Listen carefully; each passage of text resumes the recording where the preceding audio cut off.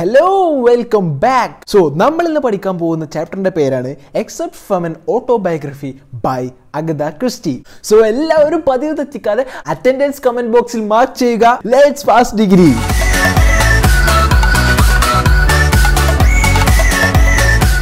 so excerpt from an ഓട്ടോബയോഗ്രഫിയിലെ except എന്ന് പറഞ്ഞാൽ ചെറിയൊരു ഭാഗം എന്നാണ്.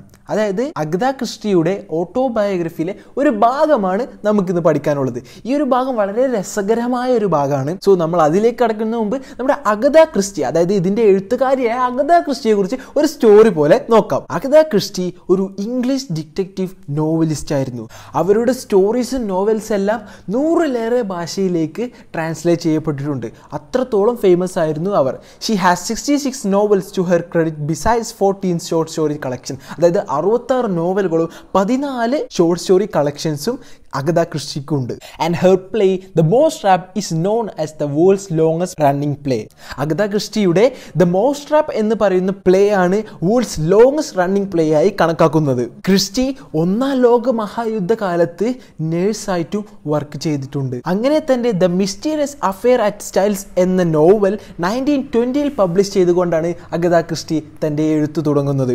And she was considered as a queen of mystery queen of mystery എന്നാണ് അഗത ക്രിസ്റ്റിയെ വിളിച്ചിരുന്നത്. അതിന്റെ കാരണം ഇതാണ് അവരുടെ ഓരോ വർക്കിലും സസ്പെൻസ് കൊണ്ടുവരാനും അവരുടെ ഓരോ കഥാപാത്രങ്ങൾക്കും അതിന്റേതായ ഒരു ക്യാരക്ടറൈസേഷൻ കൊണ്ടുവരാനും എപ്പോഴും ശ്രമിച്ച ഒരു എഴുത്തുകാരിയാണ്. അതുകൊണ്ട് തന്നെയാണ് അഗത ക്രിസ്റ്റിയെ ദ ക്യൂൻ ഓഫ് മിസ്റ്ററി എന്ന് വിളിച്ചിരുന്നത്. സോ അഗത ക്രിസ്റ്റിയുടെ നമുക്ക് പഠിക്കാനുള്ള ഈ ഒരു ഭാഗത്തിൽ Agatha Christie describes her life as a nurse during the first world war and her initial interest in writing detective fiction Agatha Christie first world വാറിൽ തന്റെ nurse ആയിക്കൊണ്ടുള്ള ജീവിതത്തെ ആണ് ഇതിൽ വിവരിക്കുന്നത്. ആ ഒരു സമയത്ത് ഡിക്റ്റേറ്റീവ് ഫിക്ഷൻ എഴുതാനുള്ള ഒരു ഇഷ്ടത്തിനെ കുറിച്ചും അഗത ക്രിസ്റ്റി ഇതിൽ പറയുന്നുണ്ട്. നമുക്ക് അഗത ക്രിസ്റ്റിയുടെ ഈ ഓട്ടോബയോഗ്രഫിന്റെ ചെറിയൊരു ഭാഗമേ പഠിക്കാനുള്ളെങ്കിലും ആ ഒരു ഓട്ടോബയോഗ്രഫി എന്ന് പറയുന്നത് is an interesting work about the life and art of Agatha Christie. Her experiences from childhood to her journey to Iraq and Turkey with her archaeologist husband ഈ ഒരു ഓട്ടോബയോഗ്രഫി എന്ന് പറയുന്നത് അഗത ക്രിസ്റ്റിയെ ജീവിതത്തെക്കുറിച്ചുള്ള വളരെ രസകരമായ ഒരു വർക്കാണ്. അതിൽ അഗത ക്രിസ്റ്റി തന്റെ ആർക്കിയോളജിസ്റ്റ് ആയ ഹസ്ബൻഡിനെ കൂട്ടി ഇറാഖിലും തുർക്കിയിലൊക്കെ പോകുന്ന എക്സ്പീരിയൻസ് കൂടി ഷെയർ ചെയ്യുന്നുണ്ട്. ഈ ഒരു ഓട്ടോബയോഗ്രഫി എഴുതി കംപ്ലീറ്റ് ആക്കാൻ അഗത ക്രിസ്റ്റിക്ക്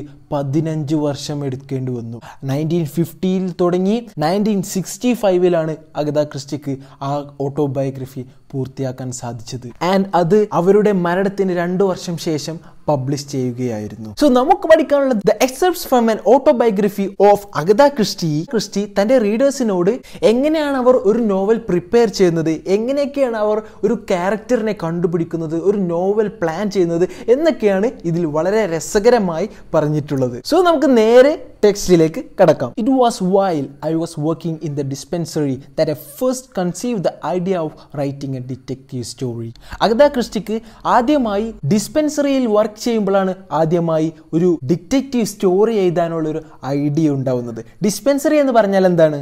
ഒരു ക്ലിനിക്കിലെ ഫാർമസി എന്നൊക്കെ പറയാം. അങ്ങനെ ഒരു ഫാർമസിയിൽ വർക്ക് ചെയ്തുകൊണ്ടിരിക്കുമ്പോഴാണ് അഗത ക്രിസ്റ്റിക്ക് ആദ്യമായി ഒരു ഡിറ്റക്റ്റീവ് സ്റ്റോറി എഴുതാനുള്ള ഒരു ഐഡിയ ഉണ്ടാവുന്നത്.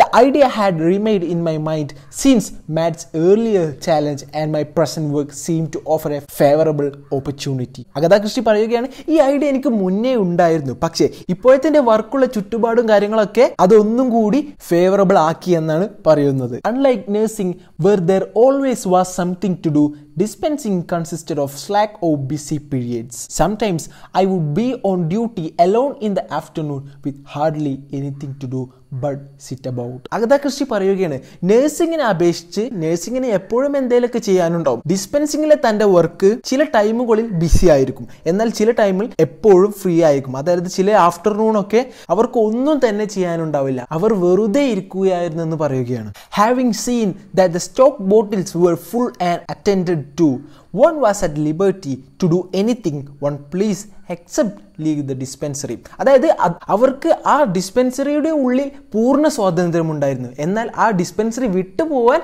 സമ്മതമില്ലായിരുന്നു. അപ്പോൾ അവർ മിക്ക ആഫ്റ്റർനൂണുകളിലും വെറുതെ ഇരിക്കുകയാണെന്ന് പറയുകയാണ്. അപ്പോഴാണ് അവർക്കൊരു ഐഡിയ ഉണ്ടാവുന്നത്. എന്തിനുള്ള ഐഡിയ? ഒരു ഡിറ്റക്റ്റീവ് സ്റ്റോറി എഴുതാനുള്ള ഒരു ഐഡിയ ഉണ്ടാവുകയാണെന്ന് പറയുകയാണ്. I began considering what kind of detective story I could write. അങ്ങനെ അഗത ക്രിസ്റ്റി എന്തോ തരം ഡിറ്റക്റ്റീവ് സ്റ്റോറി എഴുതണം എന്ന് ആലോചിക്കുകയാണ്. Since I was surrounded by poisons perhaps it was natural that death by poisoning should be the method I select so ഒരു ഫാർമസിയിൽ ഒരു dispensary work ചെയ്തുകൊണ്ട് തന്നെ അവരുടെ ചുറ്റും എപ്പോഴും പോയിസൺസ് ആയിരുന്നു. അതുകൊണ്ട് തന്നെ അവർ ചൂസ് ചെയ്യുകയാണ്. അതായത് ഒരു പോയിസണുമായി ബന്ധപ്പെട്ടിട്ടുള്ള എന്തെങ്കിലും ഒരു നാച്ചുറൽ ഡെത്ത് എന്നൊക്കെയുള്ള ഒരു പ്ലോട്ടിലേക്ക് വരാം എന്ന് തീരുമാനിക്കുകയാണ്.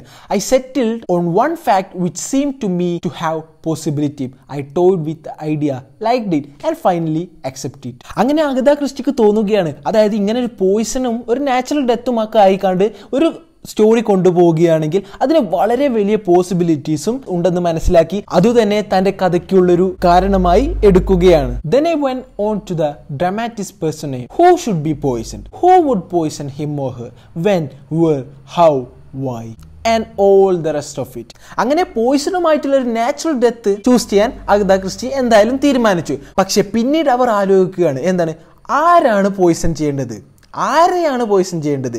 എപ്പോൾ എങ്ങനെ എവിടെ എന്തിന് എന്നൊക്കെ തീരുമാനിക്കുകയാണ്. And all of the rest of it അങ്ങനെ അതുമായി ബന്ധപ്പെട്ടുള്ള ബാക്കി എല്ലാ കാര്യങ്ങളും തീരുമാനിക്കുകയാണ്. It would have to be very much of a intimate murder owing to the particular way it was done it would have to be all in the family so to speak അങ്ങനെ അവർ ആലോചിക്കുകയാണ്. അവർക്ക് ഈ story എങ്ങനത്തെ ഒരു story ആവണം? ഒരു Indian murder ആവണം. എങ്ങനെ നടക്കുന്നത്? അതിനൊരു പെർട്ടിക്കുലർ ആയിട്ടുള്ള ഒരു പ്രത്യേകമായിട്ടുള്ള ഒരു വേ കൂടി വേണം. പിന്നെ അതെന്താവണം? അതൊരു ഫാമിലിയുടെ ഉള്ളിൽ നടക്കുന്നതുമാവണം എന്ന് തീരുമാനിക്കുകയാണ്. There would naturally have to be a detective അപ്പോൾ അവിടെ എന്ത് വേണം? അപ്പോൾ അവിടെ എന്തായാലും ഒരു ഡിറ്റക്റ്റീവ് വേണമെന്ന് അഗത ക്രിസ്റ്റി തീരുമാനിക്കുകയാണ്. At that date I was well steeped in the Sherlock Holmes traditions ആ കാലത്ത് അവർ ഷെർലക് ഹോംസിന്റെ കഥകളൊക്കെ വായിക്കാറുണ്ടായിരുന്നു. So I considered detectives not like Sherlock Holmes of course I must invent one of my own and he would also have a friend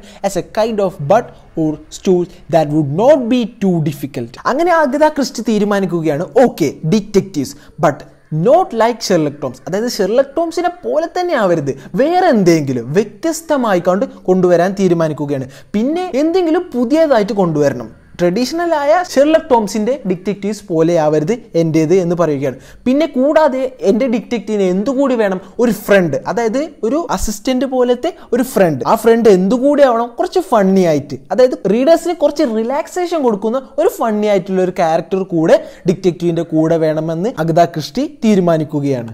I return to thoughts of my other characters who was to be murdered അങ്ങനെ detective ഡിറ്റക്റ്റീവിന്റെ ഫ്രണ്ടിനെയൊക്കെ തീരുമാനിച്ച് Agatha Christie ബാക്കിയുള്ള ക്യാരക്ടേഴ്സിനെ build ചെയ്യാൻ ശ്രമിക്കുകയാണ്. Who was to be murdered ആരെയാണ് കൊലപാതകപ്പെടുത്തേണ്ടത്? A husband could murder his wife ഒരു ഭർത്താവിന് തന്റെ ഭാര്യയെ കൊല്ലാം. That seem to be the most usual kind of murder പക്ഷെ അതെന്താണ്? ഒരു ഭർത്താവ് ഭാര്യനെ കൊല്ലുന്നത് ഒരു യൂഷ്വൽ ആയിട്ടുള്ള ഒരു മർഡർ ആയിട്ടാണ് തോന്നുന്നതെന്ന് അഗത ക്രിസ്റ്റി പറയുകയാണ്. സോ അത് വേണ്ട. I could of course have very unusual kind of murder for a very unusual motive അപ്പോൾ അഗത ക്രിസ്റ്റി തീരുമാനിക്കുകയാണ്. അത് വേണ്ട. അത് വളരെ എപ്പോഴും യൂഷ്വലായി കാണുന്ന ഒരു കാര്യമാണ്. എനിക്കെന്താണ് വേണ്ടത്? വളരെ അൺയൂഷ്വലായി അത് ആരും ചിന്തിക്കാത്ത രീതിയിൽ വളരെ അൺയൂഷ്വലായ മോട്ടീവ് ആരും ഇതുവരെ കാണാത്ത രീതിയിലുള്ളൊരു കൊലപാതകം. But that did not appeal to me artistically പക്ഷെ പിന്നീട് എഴുത്തുകാർക്ക് തോന്നുകയാണ് അങ്ങനെയും വേണ്ട. അതെനിക്ക് അത്ര ഇഷ്ടപ്പെടുന്നില്ല. Artistically I'm not into that എന്ന് പറയുകയാണ്. The whole point of a good detective story was that it must be somebody obvious at the same time for some reason you would then find that it was not obvious obvious എന്ന് പറഞ്ഞാൽ തന്നെ വളരെ clear ആയ. അഗ്ദ Christy പറയുകയാണ് അതായത് ഒരു detective സ്റ്റോറിയുടെ main point എന്താണ്? ആ കൊലപാതകം ചെയ്ത ആൾ എന്തിനാണ് അത് ചെയ്തതെന്ന് വളരെ ക്ലിയർ ആയിരിക്കണം. അയാൾ തന്നെയാണ് അത് ചെയ്തതെന്നും വളരെ ക്ലിയർ ആയിരിക്കണം. പക്ഷെ അതേസമയം എന്ത്? അത് അത്രയ്ക്ക് അങ്ങോട്ട് മനസ്സിലാവാനും പാടില്ല. അതായത് തെളിവൊന്നും ഇല്ലാതെ അവർ തന്നെയാണ് ചെയ്തതെന്ന് ഉറപ്പിച്ച് പറയാൻ പറ്റില്ല. പക്ഷെ അവർ തന്നെ ആയിരിക്കും അത് ചെയ്തതെന്ന് ലാസ്റ്റ് മനസ്സിലാവുകയും വേണമെന്ന് അഗതാ ക്രിസ്റ്റി പറയുകയാണ്. That he could not possibly have done it though really of course he had done it ആ ക്രൈം ഒരിക്കലും നടക്കാൻ പാടില്ലെങ്കിലും അത് നടക്കുകയാണ്. എന്ന രീതിയിലാവണം എന്റെ സ്റ്റോറി എന്ന് അഗതാ ക്രിസ്റ്റി തീരുമാനിക്കുകയാണ്. At that point I got confuse അതായത് ഇത്രത്തോളം കണ്ടീഷനോട് കൂടി ഒരു സ്റ്റോറി ഉണ്ടാക്കാൻ തുടങ്ങിയപ്പോൾ അഗതാ ക്രിസ്റ്റി കൺഫ്യൂസ്ഡ് ആവുകയാണ്. And when away and made up a couple of bottle of extra hypochlorous solution so that I should be fairly free of work the next day. അപ്പോൾ ഇങ്ങനെ കൺഫ്യൂഷൻ അടിച്ചിരിക്കുമ്പോൾ അഗതാ കൃഷി തീരുമാനിക്കുകയാണ്. തന്റെ നാളത്തേക്കുള്ള work കൂടി ഇപ്പോൾ തന്നെ ചെയ്താൽ തനിക്ക് നാളെ കുറച്ചും കൂടി ഫ്രീ ടൈം കിട്ടും. അപ്പോൾ നമുക്ക് തീരുമാനിക്കാം എന്ന് വിചാരിക്കുകയാണ്. I went on playing with my idea for some time bits of it began to grow I saw the murder now അങ്ങനെ അഗതാ ക്രിസ്റ്റി ആ ഐഡിയകളൊക്കെ ഒന്ന് ആലോചിച്ച് തീരുമാനിച്ചു വരികയാണ്. അതായത് ആ സ്റ്റോറി ചെറുതായിട്ട് ഡെവലപ്പായി വരികയാണ്. She saw the murder now അതായത് അവൾക്ക് ആ കൊലപാതകനെ ഇപ്പോൾ കാണാൻ കഴിയുന്നുണ്ട്. അവർക്ക് ആ ക്യാരക്ടറിനെ കൊണ്ടുവരാൻ കഴിയുന്നുണ്ടെന്ന് പറയുകയാണ്. He would have to be rather sinister looking ആ മർഡറർ കാണാൻ എങ്ങനെയുള്ളവനായിരിക്കണം എന്നാണ് അഗതാ ക്രിസ്റ്റി പറയുന്നത്. കുറച്ച് ഈവൾ ആയിട്ടുള്ള ആളെ പോലെ തോന്നണം എന്നാണ് അഗതാ ക്രിസ്റ്റി പറയുന്നത്. He would have a black beard അദ്ദേഹത്തിന് കറുത്ത താടി വേണം. That appear to me at that time very sinister അതായത് ഒരു കറുത്ത താടി. അതായത് ഈ സ്റ്റോറിയിലെ വില്ലന് ഒരു കറുത്ത താടി വേണമെന്ന് പറയുകയാണ്. അത് എന്തുകൊണ്ടാണ് ഒരു കറുത്ത താടി വേണമെന്ന് അഗതാ ക്രിസ്റ്റി പറയുന്നത്? കാരണം ആ സമയത്ത് അഗതാ ക്രിസ്റ്റിക്ക് ഒരു കറുത്ത താടിയുള്ള ആളെ ഒരു ഈവളായിക്കാണ്ട് ഒരു ദുഷ്ടനായിക്കാണ്ടാണ് അന്ന് കണ്ടിരുന്നത്. അതുകൊണ്ട് തന്റെ കഥാപാത്രത്തിന് തന്റെ വില്ലൻ കഥാപാത്രത്തിന് ഒരു കറുത്ത താടി വേണമെന്ന് അഗതാ ക്രിസ്റ്റി തീരുമാനിക്കുകയാണ് There were some acquaintances who had recently come to live near us.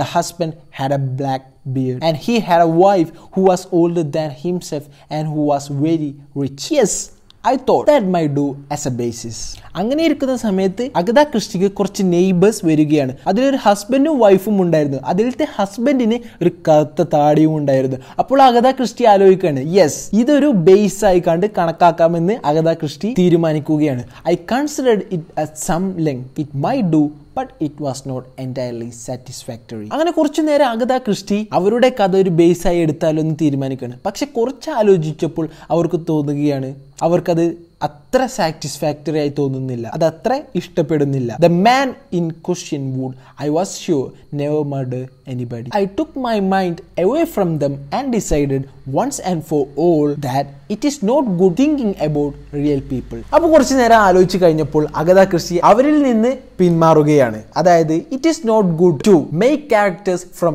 real people എന്ന് പറയുകയാണ്. അതായത് യാഥാർത്ഥ്യത്തിലുള്ള ആളുകളെ വെച്ച് ഒരു ക്യാരക്ടർ ഉണ്ടാക്കുന്നത് ശരിയായ കാര്യമല്ലെന്ന് അഗത ക്രിസ്റ്റിക്ക് തോന്നുകയാണ്. നമ്മുടെ ക്യാരക്ടറായി വെക്കരുതെന്ന് അഗത ക്രിസ്റ്റി പറയുകയാണ്. Someone you see in a tram or train or restaurants is a possible starting point you must create your characters from yourself because you can make up something for yourself about them. അതായത് നമ്മളൊരു character ഉണ്ടാക്കുമ്പോൾ നമ്മൾ തന്നെയാവണം ആ character ഉണ്ടാക്കുന്നത് അങ്ങനെ നമ്മൾ യാദൃശികമായി കാണുന്ന ആൾക്കാരെ വെച്ച് നമുക്കൊരു ക്യാരക്ടർ ഉണ്ടാക്കാം അവരെ ഒരു ബേസ് ആയി വെച്ച് നമ്മുടേതായ രീതിയിൽ നമുക്കൊരു ക്യാരക്ടർ ഉണ്ടാക്കാം എന്ന് പറയുന്നത് sure enough next day I was sitting in a tram I saw just was what I wanted. A man with a black beard sitting next to an elderly woman who was chattering like a magpie. അങ്ങനെ പിറ്റേ ദിവസം Agatha Christie കാണുകയാണ് ട്രെയിനിൽ വെച്ച് ഒരു കറുത്ത താടിയുള്ള ആളെ. അയാൾ ഇരിക്കുകയാണ്. തൊട്ടടുത്ത് ഒരു വയസ്സായ സ്ത്രീ കൂടി ഉണ്ട്. ആ കറുത്ത താടിയുള്ള ആൾ ആ വൃദ്ധയോട് ഒരു മാക്പൈ സംസാരിക്കുന്നത് പോലെ സംസാരിക്കുകയാണെന്ന് പറയുകയാണ്. മാക്പൈ എന്ന് പറഞ്ഞ ഒരു വെള്ളയും കറുപ്പുള്ള ഒരു ബേർഡ് ആണ്. സോ അങ്ങനെ ആ കറുത്ത താടിയുള്ള ഒരു വൃദ്ധയുമായി സംസാരിക്കുന്നത് അഗത ക്രിസ്റ്റി കാണുകയാണ്. I didn't think I would have her but I thought he would do admirably അതായത് ആ വൃദ്ധയായ സ്ത്രീയെ അഗത ക്രിസ്റ്റി തന്റെ ക്യാരക്ടേഴ്സിൽ ഉൾപ്പെടുത്തിയില്ല. പക്ഷേ ആ കറുത്ത താടിയുള്ള ആളെ അഗത ക്രിസ്റ്റി തന്റെ ക്യാരക്ടേഴ്സിൽ ഒരാളുടെ ബേസ് ആയി എടുക്കാൻ നല്ലതാണെന്ന് മനസ്സിലാക്കി. സോ ഫ്രണ്ട്സ് നമ്മൾ ലൈൻ ബൈ ലൈൻ ആയിക്കൊണ്ട് തന്നെ മീനിങ് പറഞ്ഞു തരുന്നതുകൊണ്ട് എല്ലാവർക്കും മനസ്സിലാവുന്നുണ്ടെന്ന് ഞാൻ വിശ്വസിക്കുന്നു. നമ്മുടെ ഈ ചാപ്റ്ററിന്റെ ബാക്കി ഭാഗം നമുക്കൊരു പാർട്ട് ടു വീഡിയോ ആയിട്ട് ചെയ്യാം. കാരണം അല്ലെങ്കിൽ ഇതിന്റെ വീഡിയോ കുറച്ച് വലുതാവാൻ ചാൻസ് ഉണ്ട്. സോ എന്താണ് നമ്മുടെ അഗത ക്രിസ്റ്റിയുടെ ഡിക്റ്റീവ് നോവലിന് സംഭവിക്കുന്നത്? നമുക്ക് തൊട്ടടുത്ത വീഡിയോയിൽ നോക്കാം. സോ പാർട്ട് ടുവിന്റെ നോട്ടിഫിക്കേഷൻ മിസ് ചെയ്യാതിരിക്കാൻ വേണ്ടി എല്ലാവരും സബ്സ്ക്രൈബ് ചെയ്ത് നോട്ടിഫിക്കേഷൻ ഇനേബിൾ ചെയ്യുക. So let's you next part of this video let's pass degree